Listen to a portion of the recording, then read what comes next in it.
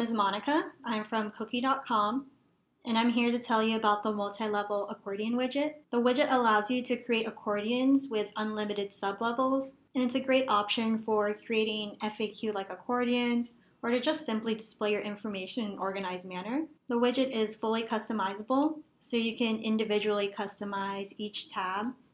You can have multiple sublevels, you can change color, you can add icons, you can even add a background image if you want. And the accordion is also breakpoint friendly and fully responsive. So I'm going to show you how to create something similar.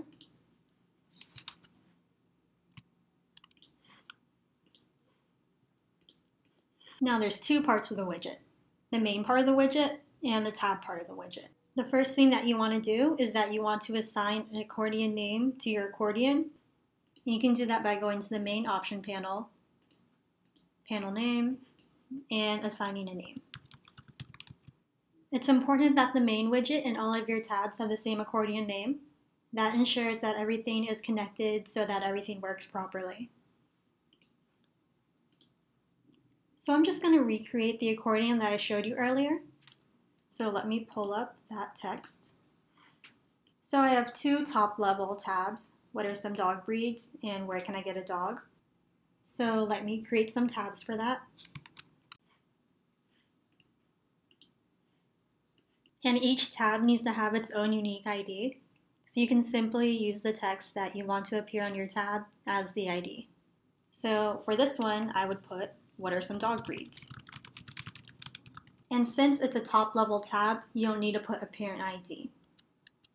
But you do need to leave the text box empty in order for your ID text to show up on your tab.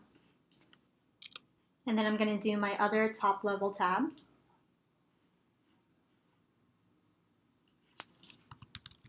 Make sure the accordion name is correct. And now I'm going to create my sublevels. So my sublevel for this one is Husky and Retriever.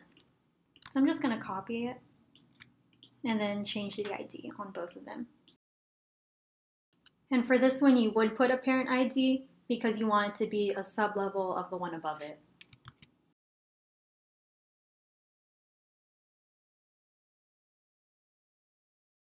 And then this one has a sublevel, which is Golden Retriever.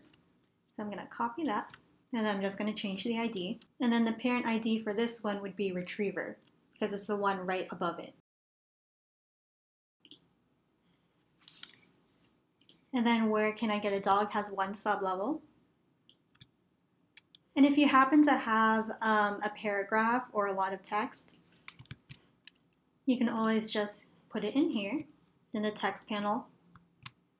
Because if you put it in the ID, that would be really long so I'm just going to give this a simple ID. And then one cool thing about using the text panel is that it accepts HTML inputs. So if you want to separate your paragraphs, you could do that with the break tag or the paragraph tag. You can just do this directly in Muse. But if you're copying and pasting your paragraphs over from a text editing program, make sure that you don't have any line breaks. Let me show you what I mean. So if I did, so if I did this, that's a line break. If you do that, it's going to cause the widget to not work properly. So instead of doing that, do this. And you just add your HTML tag in line with everything else. You don't do the extra returns.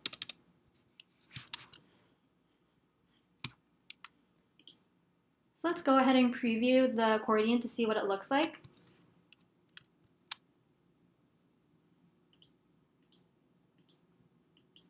And I forgot to put my parent.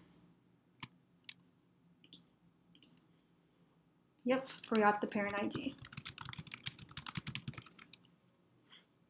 So now let's see what it looks like.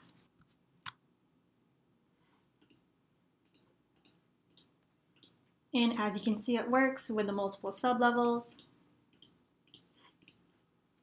Now let's go ahead and customize it in Muse. So each individual tab can be fully customized. You can change the color for each one.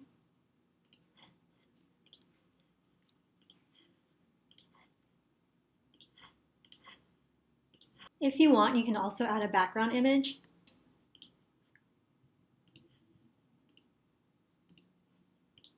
You can also change the size of your tabs. So let's say you want the top level tabs to be bigger. And you can also customize your arrows through the main section. You can make them bigger, smaller, change the position. Or if you want to, you can get rid of them by unchecking this box. And you can add your own icons, and right here you can set the size that you want them to show up at.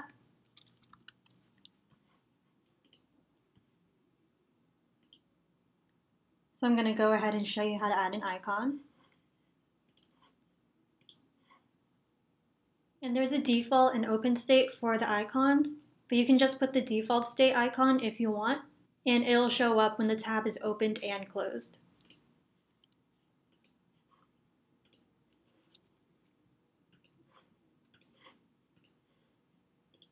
You can also customize the spacing in your tabs.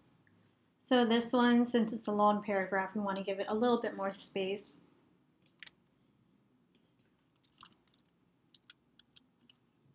And then let's preview.